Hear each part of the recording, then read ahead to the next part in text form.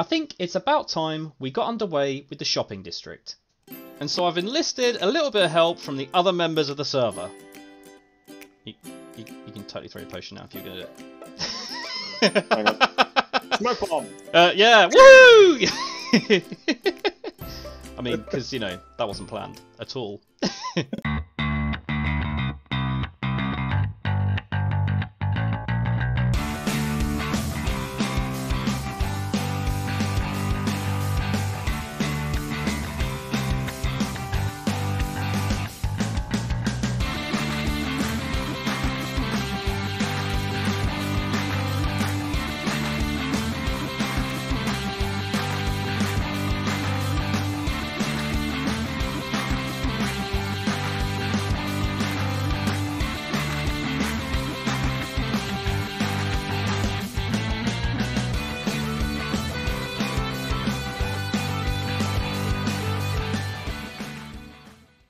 Now, it's been a couple of days since I recorded the last clip, and I'm hoping that if we go back through into the shopping district, there'll be a little bit more to see.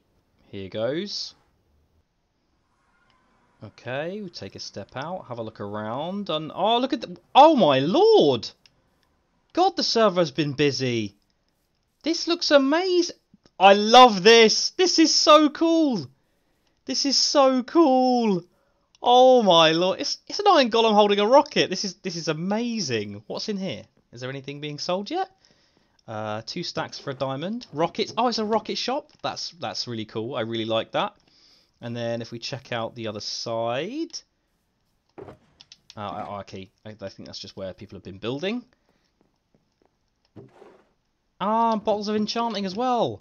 What an amazing looking store! I love that. And then we've got this amazing looking bridge over here. Very medieval. I really like the look of this. In fact, actually, I think what I'm going to do, I'm going to build my wood shop, which is actually going to be like a medieval style sawmill, probably over here by the river next to it, because I think that'll be a really nice addition. And that leaves whatever this thing is over here. Okay. Oh, this must be the beginnings of the tavern. Oh, it looks so good. Oh, that's amazing. Oh, okay. This is cool. I really like how this is all coming together.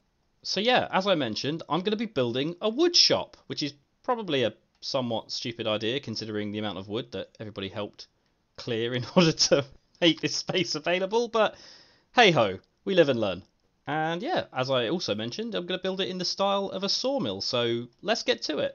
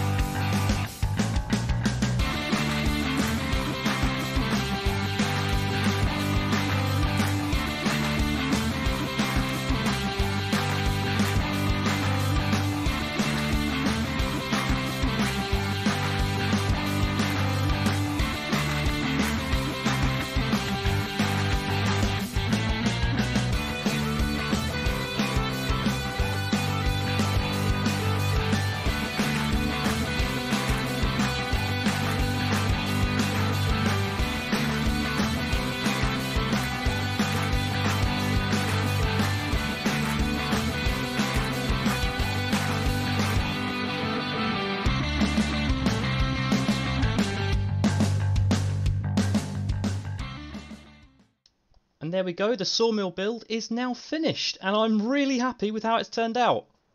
I think this thing looks absolutely awesome. Like, I love it. I love the little wheel on the side.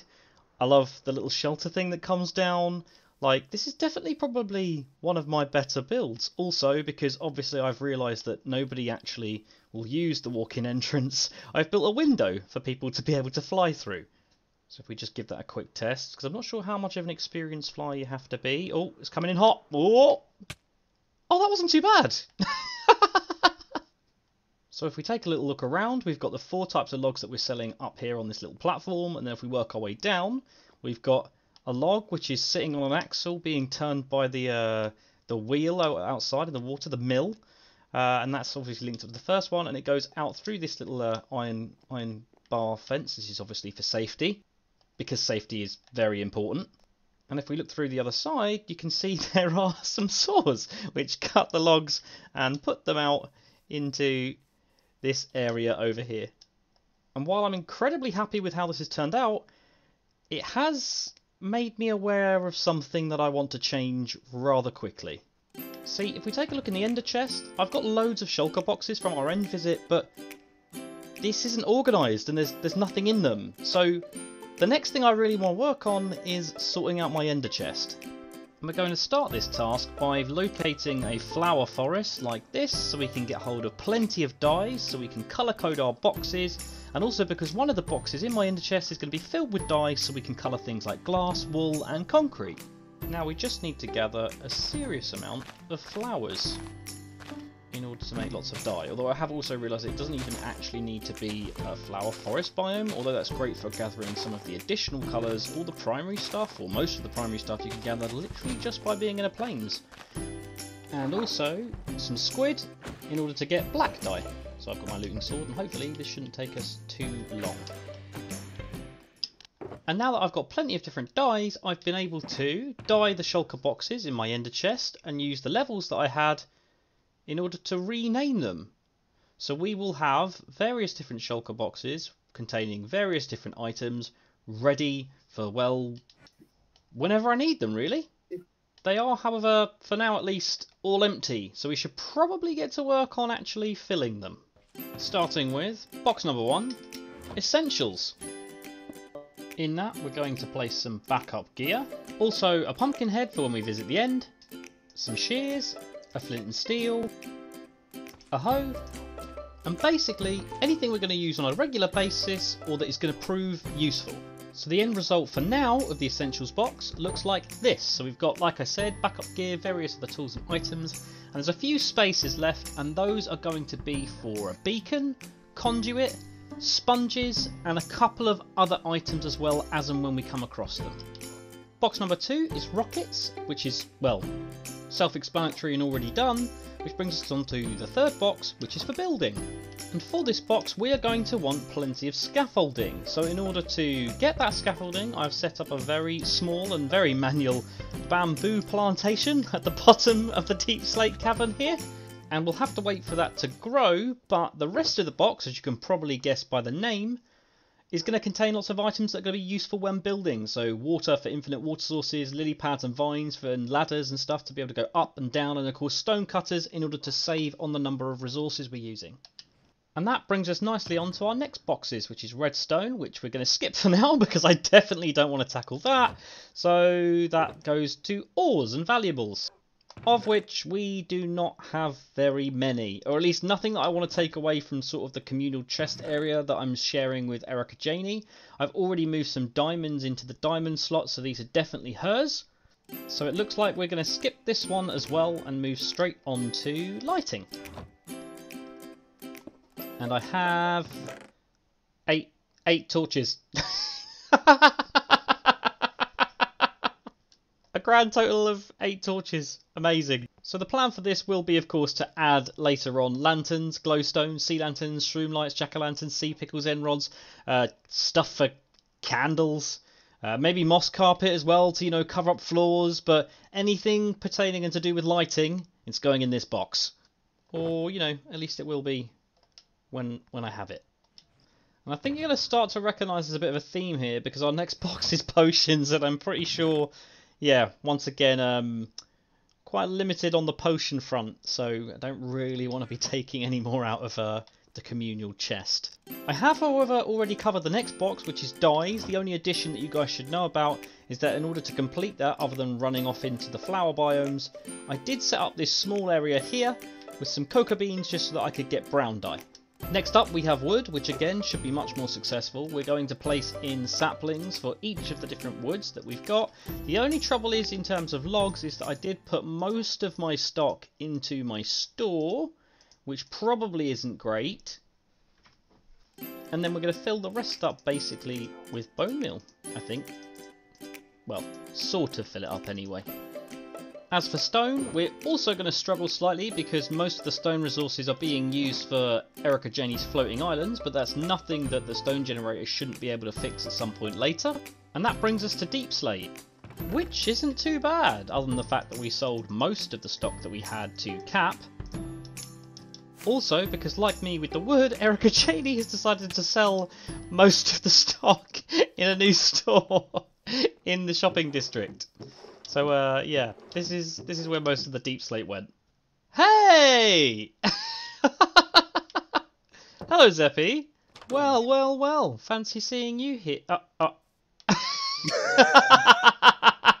there you are. You're right. It's funny actually. I was just flying over here to say how we're selling most of our stock, and I don't have anything to put into my ender chest, and I realised that um, you've been doing some rather excellent looking work over on the tavern, mate, haven't you? Oh, stop it, you. No, You it's flatterer. beautiful. It's beautiful, mate. I I also thoroughly agree with the captain's assessment that you switching out the colour at the top for white looks so much cooler. Also, the chimney looks awesome, man. Does it go all the way up as well? Sorry, I'm going to have to take a little peek inside, see what's going on. Oh, I see some of the banners have gone up already. I'm yet to supply you with one. It'll. Uh, I might move them because I've made a uh, a round table. Decorate with something. what a fantastic Well, sign! I love it. I love my, it. It's my notes. Yeah. and then I assume this is the this is the table, right, for the meetings? This is this is the draft of the table. I might. No, you I like it, dude. I like it. And after that welcome distraction from Zeppy, let's get back to our ender chest boxes. Next on the list, variation and detailing. And inside of here, we're going to chuck all manner of variations of stone and things like that so that we can add a little bit of variation and detailing to our builds. And for now, that's going to look a little something like this. Next up, we've got concrete, which is basically just going to be a bunch of sand and gravel, and also a cauldron and a bucket of water. This is because we have a data pack on the server that allows us to turn concrete powder into concrete by chucking it into a cauldron full of water. Not quite vanilla, but it does save us a huge amount of time of just basically stacking up concrete powder into water and then mining it back down again. That brings us on to glass and wool. For our currently very limited amounts of uh, glass and wool. And finally, that brings us on to the nether box and the end box. I say finally, even though there's another six boxes remaining, because those six boxes, which are tagged with my name, are actually going to be project boxes. So these are going to contain just additional resources that I need that is not in all of the other boxes already, or just for transportation of large amounts of items and things like that. Or, for instance, if I go mining and then find that I run out of inventory space and I need to store it somewhere, I can just chuck it in one of these. So we've got nether stuff for the nether box, and end blocks and some ender pearls for the end box. I think it's fair to say there's still a lot of stuff missing from these boxes. I am under no illusion that we are not fully prepped and ready to go. However, I don't really want to spend any more time going through the boxes in my ender chest. To be honest, I'm quite happy to tackle that in between episodes in my own time. So instead, I've come to the tavern in the shopping district to make my player banner. See, every player on the server has been allocated a colour, just like it was done in Season 2. Only this time round, Zeppy came up with a pretty cool idea, which is that we should all create our own banners. And after taking a look at what the others have been doing and what kind of colours and stuff that they've been working with, and some extensive Googling, I've got a design. Now, I've never actually played with banners before, I don't think, in um, the time I've been Minecrafting, and I have to admit, it's actually pretty cool. Like, you can do some really fancy stuff. Mine, however, probably isn't going to be that fancy, but hopefully it'll do the job. And this is what I've gone for. It's pretty simple, but I've gone for white rather than black in terms of the background, because I've noticed that some of the others have kind of already gone for the darker colours. And then I've gone for a dark blue to a light blue accent, because my colour is the dark blue, and Erica Janey's is the light blue, and we're working sort of as a team this season. Plus, I think it gives it a nice little bit of variation. And aside from the fact that it's propped up against the white wall or background, I still think it pops pretty well. And I'm going to make a second one so that I can also have a super fancy shield. Yes! Look at my shield! Oh, I really like this. The mobs are going to be running scared now. But that's all we've got time for, so I'll catch you in the next episode. So, as we know, you're a man of marvels. It's Uh, amazing yes, redstones. You like to push the game to the boundary, don't you? I, I am. I am amazing. I do like to push the game to the boundaries. I do indeed. What would you do if I said for just one diamond you could have an item that has never existed in Minecraft before? That sounds very intriguing. I would very much like to pay you a diamond. Just one diamond for the uh, the item that's not existed Just- in the game before. Just the one.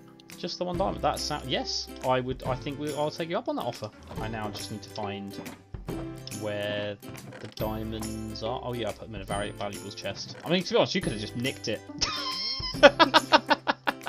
okay, one diamond. Good sir. And of honor. For an item in Minecraft, that is the most amazing thing that I've ever seen. Indeed, right. Okay. Are you okay. ready, sir? Okay. Oh, so I even get to see it before I purchase. Voila. okay.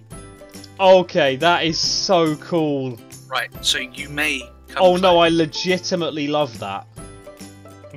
that I legitimately love that. Now, now, now, now. Not only is it Rubik's Cube, but if you jump three times, it does solve itself. Wait, what? Okay, no, you have two. You have two. One, One diamond. Best item in the game. Deal.